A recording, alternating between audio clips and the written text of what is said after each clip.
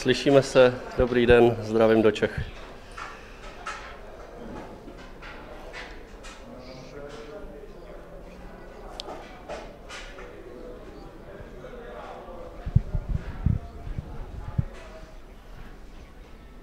No do varu mě to dostalo určitě, ale tam bylo škoda, že jsme docela dobře začali si myslím a pak, pak eh, zbyt, zbytečnýma vyloučeníma, nebo nevím, jak je, jak je nazvat, protože nemám možnost se vyjadřovat k něčemu, ale ty vyloučení prostě na, nám, nás hodně zbrzdili a samozřejmě do, do, dodali křídla Švédům a no, no, bylo tam docela dost práce upřímně. No.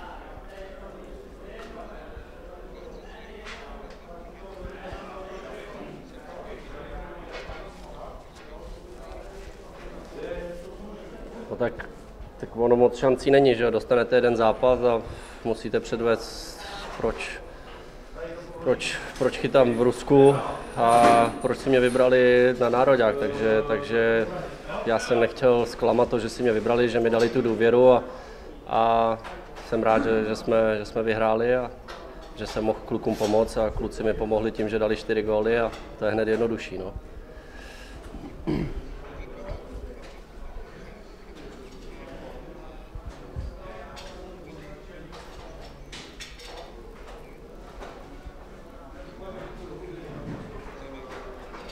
Já bych se vůbec do toho nepouštěl do nějakého eh, porovnávání, protože jakmile nejsem na ledě, tak vůbec si neumím eh, vžít do té situace, jak ten zápas vypadá z pozice toho brankáře, z pozice toho hráče.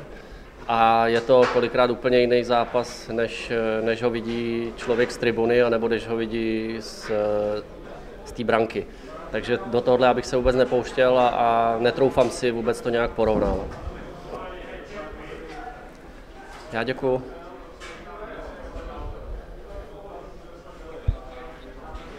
Ahoj.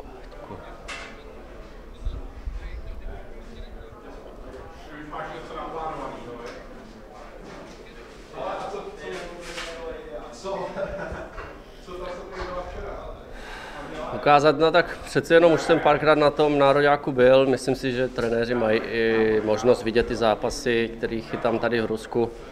Takže to nevím, jestli ukázat, ale samozřejmě, samozřejmě zabojovat a ukázat, že, že chci, chci reprezentovat a chtěl bych, chtěl bych dostat další a další šanci. No.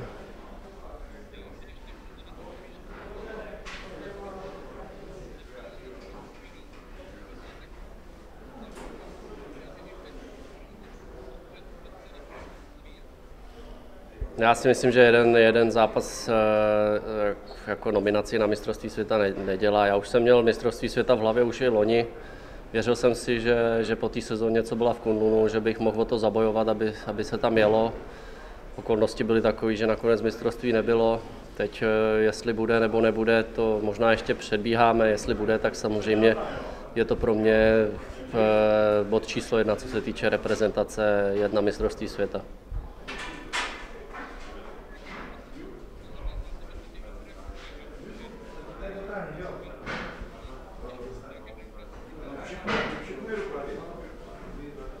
To máte přesně pravdu.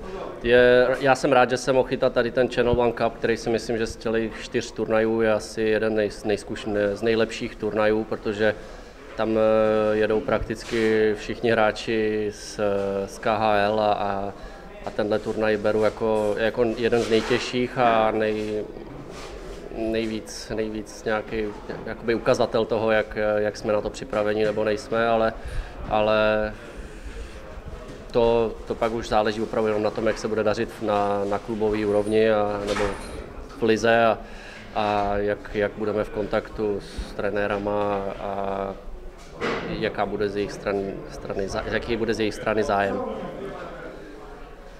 Já děkuji.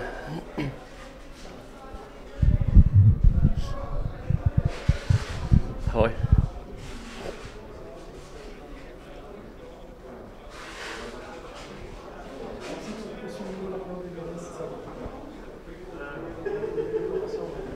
To ne, ale tak vím, vím že ty kluci, co, co chytají v Rusku, jak je to, jak je to vlastně Vilda, Kuba Kovář, Dominik Furch, tak všichni jsou ve svých klubech jedničky a, a, a ta konkurence samozřejmě je, je veliká. Ty brankáři jsou fakt kvalitní a, a,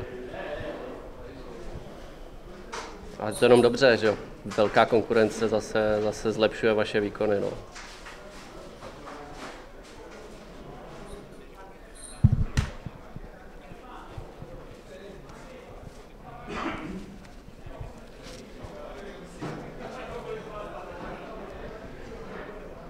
Tak je, je pravda, že rozdíl mezi Extraligou a KHL je velký, a, a, ale snažil jsem se těm klukům, protože, protože možná to je jedno z mých takových, uh, takových věcí, že já ohromně, ohromně řvu a, a křičím a diriguju si to.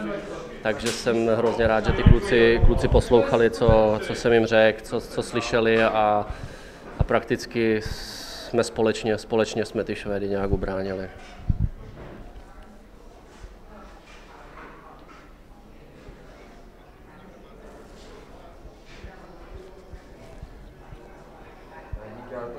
Musíme se otočit, musíme, protože my za 20 minut lídíme, takže jsme chtěli ještě poslední respondenta, tak Šimonovi poděkujeme a střídáme se. Já děkuji. Číslo na mě máte, jak se můžete ozvat, když tak.